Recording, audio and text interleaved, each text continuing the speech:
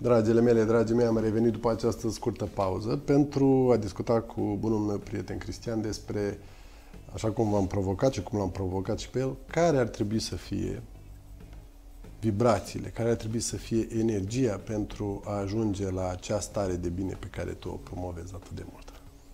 Da, este într-adevăr o preocupare pe care o lansez fiecărei persoane cu care noi ne intersectăm la Centrul Starea de Bine, pentru că noi vorbim despre, și am început, dacă îți aduce aminte, ne uităm la noi, la corpul nostru. Există ceva în spatele acestui corp? Siguranță există, din punctul meu ce? de vedere. Și sunt unii care învață la biologie, la anatomie, că avem organe, că avem... Avem și organe, avem, avem de toate, dar mai avem și un lucru important care poate nu se vede. Ce cred mai avem? Energia. Bun, dar de unde? Ce energie? Că vorbim foarte mult de... De unde apare această energie, da? Și cum? De ce? ea este. Și atunci dacă ne uităm la faptul că în fiecare organ al nostru sunt niște molecule alcătuite din celule și asta știm cu toți, aproape că e un lucru pe care nu avem nevoie să-l mai discutăm. Da. Dar celulele din ce sunt alcătuite? Acolo vine marea din noastră atom. provocare. Da. un atom care, dacă știm un tabelul Mendeleev, pleacă de la cel mai simplu atom, atomul de hidrogen, care are un nucleu în care se află niște protoni.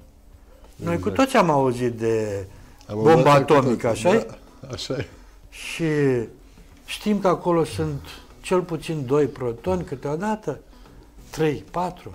Sunt de aceeași sarcină. Ce știm? Doi magnezi de aceeași sarcină se resping? Da. Protonii de ce stau împreună? Că iunește ceva.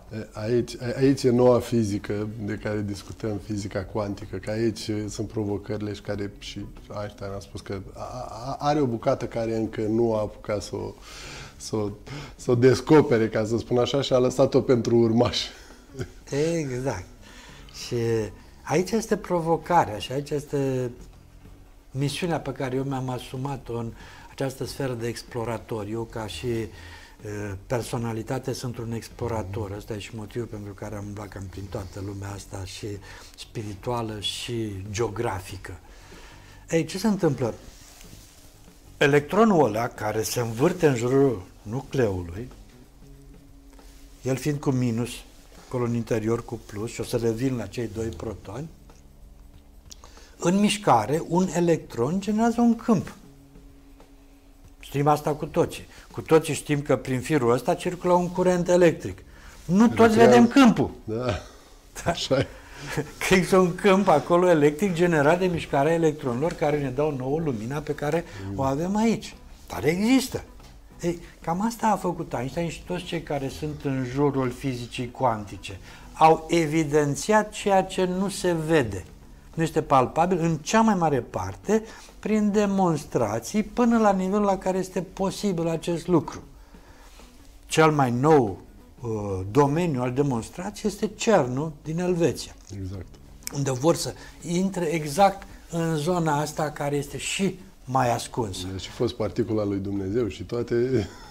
Dar noi cu toți particula lui Dumnezeu, da?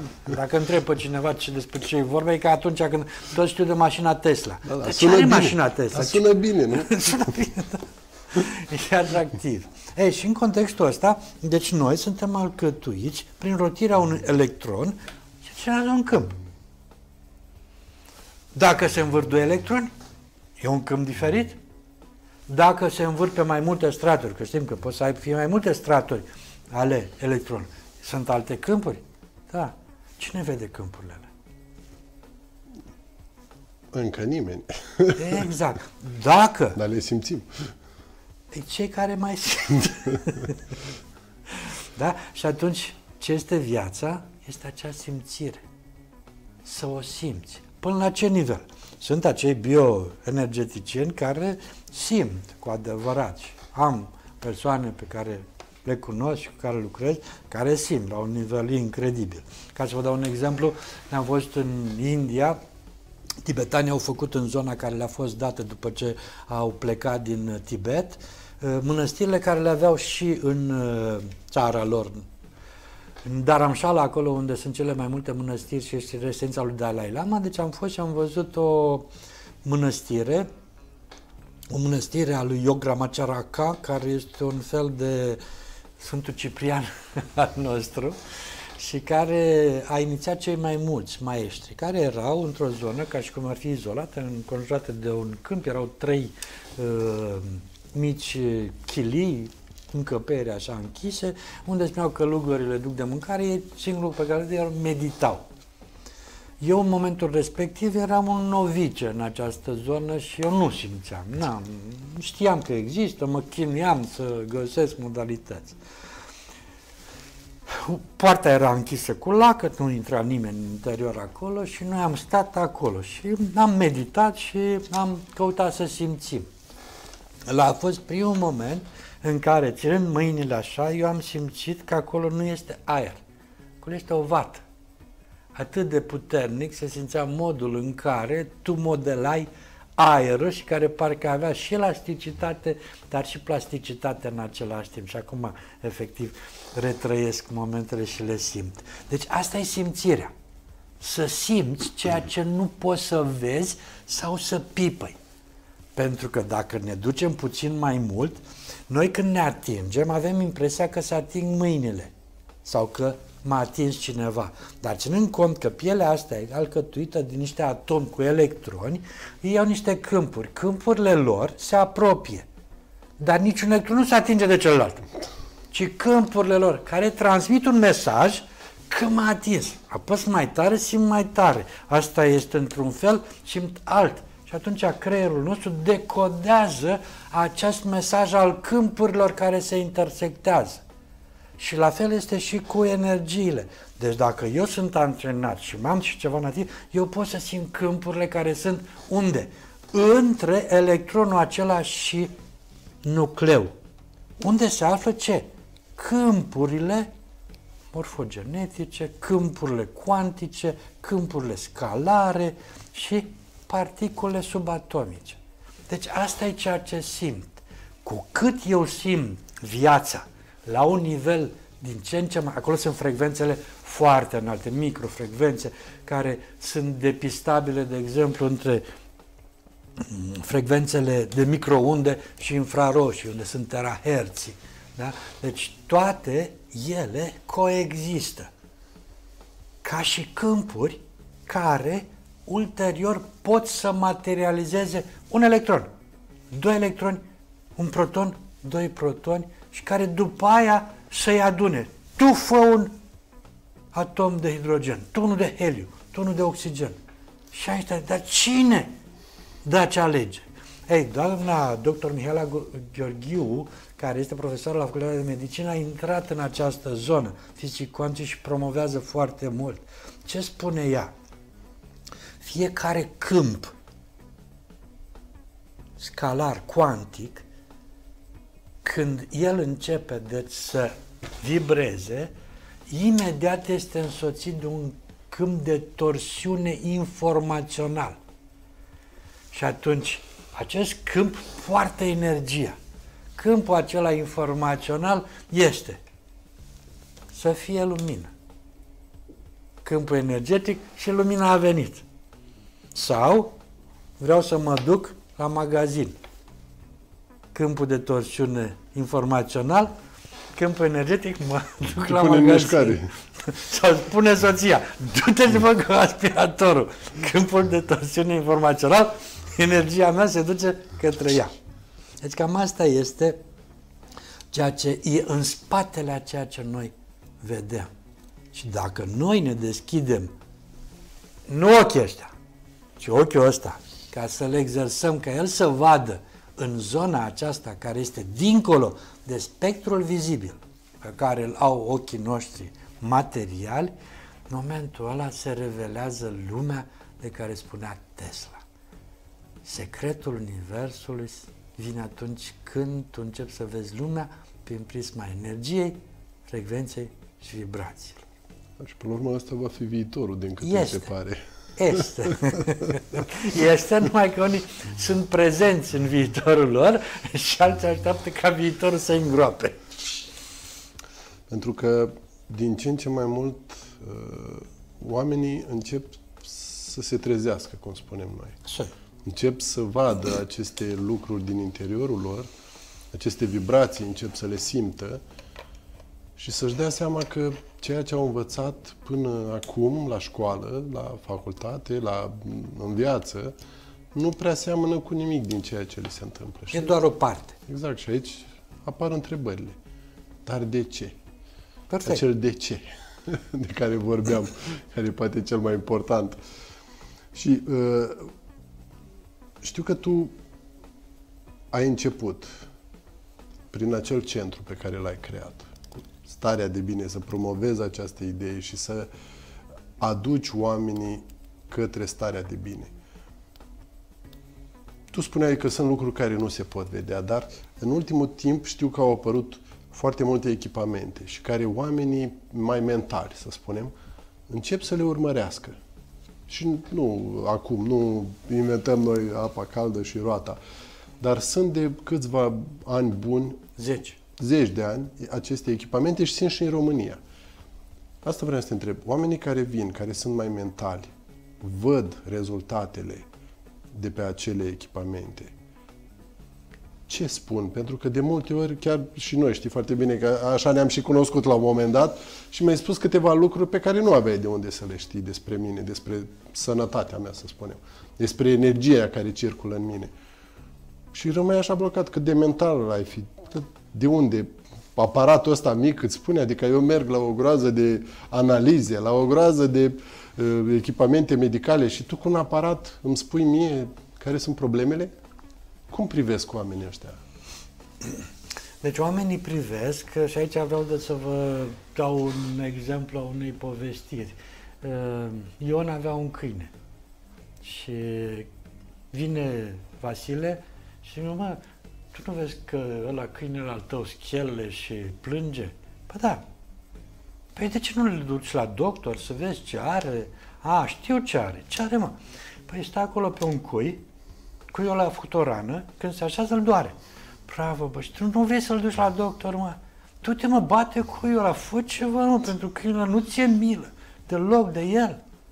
Lasă-l, mă, când nu durea suficient de tare, s-a ridicat și a plecat singur. Deci cam asta e situația deci, cu oamenii. Oamenii atunci, până când nu-i doare suficient de tare, ei rămân în premiza aia că lasă, ori o să-mi treacă, ori mă duc și vedem, încerc toate variantele pe care eu le cunoșteam până acum. Și iau o pastiluță și gata. Că exact. Toți asta vrem, toți am vrea dacă... Și e un lucru normal, numai că de cele mai multe ori nu ne ajută doar pastiluța aia care o vrem noi. Exact, și aș fi vrut să iau o pastiluță să mă iluminez dintr-o dată, să devin de la lamă. Da? Oricine, normal. Numai că drumul către rai e parvat cu Știi, Martin, trebuie să muncim, da? Și munca asta pe care o avem de făcut este munca celui care caută. Și atunci ei vin, ajung la noi de cele mai multe ori prin recomandare. Pentru că o persoană ca Radu a beneficiat de așa ceva și a văzut că într-un timp care e de 10-20 de ori mai scurt, el reușește să afle lucruri care în mod normal i-ar fi luat foarte mult timp și energie și nervi și tot ceea ce știm bani. foarte bine. Și bani, da. și în momentul respectiv, el e pus în situația de a vedea că niște lucruri care sunt în spate, adică în interiorul lui, el încep să se reveleze și să aibă legătură cu niște simptome și manifestări pe care el le-a avut, dar normal că le lăsăm deoparte, că noi avem multă treabă, nu ne ocupăm de lucruri mici, încep să se conecteze. Încep să apară niște răspunsuri. Răspunsuri. De ce-uri de care spuneai tu. Uite de ce. Pentru că ficatul tău, uite ce face. Tiroida ta are niște probleme. Iar tiroida asta a ta se ocupă, printre altele, de metabolism. Din cauza asta avem niște oameni așa slim. Toți sunt slim, așa și... Din ce în ce mai slim. da? Din cauza asta tu ai probleme cardiovasculare, pentru că ea se ocupă și de cardiovascular, din cauza asta tu ai probleme cu articulațiile, pielea și cu părul. Se ocupă și de partea asta. Și ea e influențată foarte bine de altă glandă endocrină, care și toate glandele au scopul să asigure echilibrul acestui corp. dar ele sunt dereglate de stres. Și stresul se află aici. Dar dacă te duci să verifici în cele din urmă, dacă e cineva care se interesează să verifică stresul, prea găsești. Și dacă îl găsești, e greu să creeze corelația între cauză și efect. Și atunci noi asta facem. Evităm deci să descoperim doar efectele și să eliminăm efectele, ci mergem la cauză. Sunt oameni care în momentul în care sunt și facem evaluarea prin trei aparate, tocmai ca să evităm ca să facem niște interpretări greșite. Iar acolo unde sunt probleme care sunt dezechilibre, noi identificăm dezechilibrele din câmpuri, da? de la sursă, și din energetic și informațional. Energeticul înseamnă zona emoțională, informaționalul înseamnă mentalul tău și toate programele tale care rulează și care în loc să te îndrepte spre fericire, te îndreaptă către partea cealaltă. Știm foarte bine că nefericirea te îmbolnăvește și nu degeaba se spune că a murit de inimă rea. Ei, și atunci, în contextul ăsta, omul, așa cum ai făcut și tu, își dă seama, stai puțin, că nu este, deci, un science fiction, nu este ceva care este doar de hobby, este ceva care răspunde. După ce el vede că mai pe lângă toate mai face și o terapie în care aceste aparate ce fac? Îi aduc aminte respectivului atom da, de frecvența corectă pe care el a pierdut-o între timp că era ocupat cu altele, da? Și prin repetabilitate intră în rezonanță de nou cu structura corectă în care noi am fost creați. Și în momentul respectiv vede că sunt și îmbunătățiri. Și din momentul ăla eu le spun, eu nu vreau să Oamenii credeți. încep să creadă. Nu vreau să credeți. nu. Oamenii încep să creadă atunci. Eu vreau să fiți convinși. Credința este o, o zonă spirituală, pentru că e ceva care nu poți verifica. Da. Convingerea, tu poți să o verifici aici. Și eu asta le recomand. Verificați, nu mă credeți pe mine, pe cuvânt. Că s-ar putea ca eu să nu fiu cel mai bine dotat ca să vă explic vouă sau să vă generez vouă că Cristi e deținătorul a ceea ce este cel mai important pentru voi. Verificați dacă ceea ce vă spune Cristi, cu ajutorul și sprijinul aparatelor care sunt, nu sunt ale mele, sunt oameni de știință care stau în spatele tuturor, le-au creat. Și atunci tu ai nevoie să alegi. Acolo unde întâlnim probleme deosebite care au trecut de faza aceasta a câmpului, a informației, a energiei și se manifestă în fizică, recomandăm să meargă să apeleze la structurile care sunt cele din zona tradițională da, a medicinei. Acolo unde sunt, ceea ce spunem, predispoziții, pentru că cum apare, de exemplu, o afecțiune cronică sau o afecțiune acută? Întâi apare un dezechilibru în câmp, câmpul este cel care se modifică, după aia el apare în energetic, în informațional, scuze, după aia apare în energetic, după aia apare în chimic, chimia aia pe care noi o luăm atunci când facem verificări și abia după aia în fizic. Tot acest proces care duce la ceva care este cronic este între 7 și 9 ani. Deci ceea ce putem noi să facem este ca periodic să ne facem această verificare a zonei scalare cuantice, energetice, ca să evităm să ajungem în situațiile alea. Cine are urechi de auzit, aude, cine are ochi să vadă, vede, știm foarte bine expresiile. Deci cam asta este ceea ce facem noi acolo și dincolo de toate pot să spun că avem printre cele mai noi și performante aparate care în momentul de față există în această zonă a ca să evit cuvântul medicina, terapiilor integrative. Nu suntem medici, suntem terapeuți. Și din câte am înțeles, chiar ultimele echipamente sunt mici și țin legătura cu telefonul, nu? Ca să tot suntem cu aceste gadgete. Nici deci acum. Până acolo ajungem, nu? Adică nu, dacă erau echipamente mari care trebuia să le car după tine, Da, deci cam asta este dimensiunea. Asta e telefonul și asta este aparatul. Da? Restul reprezintă informație și energie. Și știm foarte bine acum că noi cu toți este un cloud. Ce este? Ce sunt nori? Da, da, da nici, cu capul nori, la Iași, da? Cu capul nori. Și e adevărat, se spune acea, este acea expresie că cine are informație are putere. Dar ca în toate secretele, cel mai important este ascuns. Cine știe să folosească informația are putere. Da, și în ziua de azi, după cum se vede, informația o găsești peste tot. Cred că e, avem prea multă informație și cred că acum succesul este a celor care știu să trieze această informație, să-și ia doar ceea ce are fiecare dintre, el, dintre ei nevoie. Perfect, perfect, nevoie. Și atunci întrebarea pe care eu am pus-o și în uh, cartea pe care am scris-o, Agenda Prosperității, nou titlu al, pe care l-am reeditat, este care e diferența între nevoie și plăcere? Plăce- plăcerea este ce vrei tu, ce îți aduce ție o satisfacție, să spunem, nu? Și nevoia este o chestie fără de care, de fapt, nu poți trăi, care Perfect. Ai nevoie să bei apă. Acum că tu bei, bei suc sau vin, aia e o plăcere, să spunem. Dar tu ai nevoie să bei apă sau un lichid, să spunem. Exact. Și atunci ordinea în care tu ai nevoie să te focusezi în viață este pe nevoie și după aia pe plăcere. Ai întrebat ce e starea de bine. Pe noi la starea de bine, noi suntem foarte conștienți că după ce am făcut evenimentele legate de uh, antrenament pentru fericire mai bine de 2 ani de zile, am la concluzia că fericirea este un rezultat și viața în cel, starea noastră este rezultatul acestui echilibru între hormoni. Pentru că spuneam mai devreme, glandele endocrine creează un echilibru.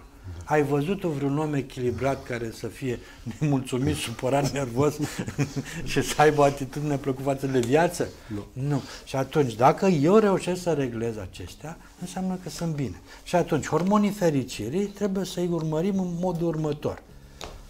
Dopamina este cea mai importantă și care influențează cel mai mult și glanda tiroidă. Dopamina este dată de capacitatea mea de a vedea în viitor un obiectiv frumos care mă motivează. De ce? Și care îmi determină că am prezent, eu să mă simt bine cu gândul la el și deci eu am dopamină, un hormon al fericirii în prezent care mă ajută ca să desfășor o activitate cu mai multă energie. Un alt hormon foarte important este oxitocina, care a fost descoperit ca fiind cea mai importantă sursă a fericirii pe termen lung. Este un studiu făcut la Stanford pe mai bine de 73 de ani și a descoperit că cei mai fericiți oameni după o perioadă de îndelungată erau cei care aveau cele mai bune relații. Oxitocina este dată de îmbrățișări. îmbrățișări. De a fi întotdeauna ne îmbrățișăm cu cuvintele, cu aprecierile, cu iubirea, e cea mai mare cu formă. privirea. Cu privirea, depinde ce privești. și în contextul ăsta oxitocina vine să completeze. Și observăm că în ultimul timp ni s-a luat și dopamina, da. ni s-a luat și oxitocina și cu ce am mai rămas? Am mai rămas cu endorfinele și serotonina. Dar alea astea sunt determinate de ceea ce faci, să faci ce-ți place și să ai rezultate care de să te satisfacă. Și dacă ne uităm că tocmai discutat despre serotonină și că lipsește endorfinele, unde mai e fericirea?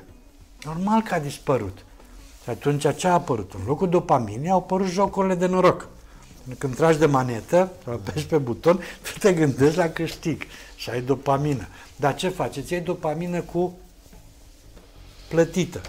Și se întoarce potriva ta, adică nu exact. simți câteva secunde și după aia câteva zile sau o lună aștepți iar salarul.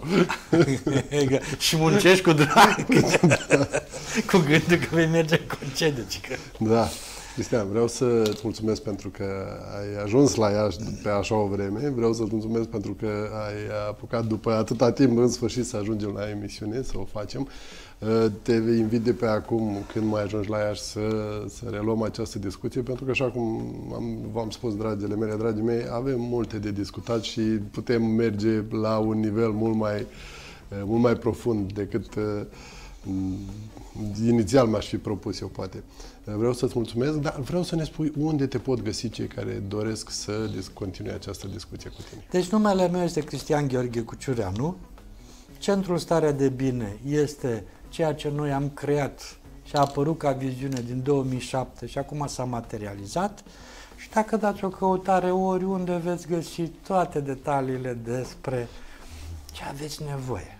Sau nici nu știți că aveți nevoie și descoperiți că este. Vreau să-ți mulțumesc pentru că promovăm împreună această stare de bine pentru uh, cei care ne urmăresc. Cel puțin toți cei din Iași îmi doresc să trăiască starea de bine de la nivele din ce în ce mai înalte. Și dacă e să urmărească, sunt, dau acolo căută, antrenament pentru fericire. Sunt peste 100 de ore de înregistrări de antrenament pentru fericire. Când se simt altfel, Vreau să-ți mulțumesc pentru prezență și vouă, dragile mele, dragii mei, vreau să mulțumesc pentru că ne-ați urmărit. Stați aproape pentru că cu siguranță ne revedem data viitoare. Toate cele bune! Mulțumesc, Radu, și vă mulțumesc foarte mult pentru că sunteți alături de noi.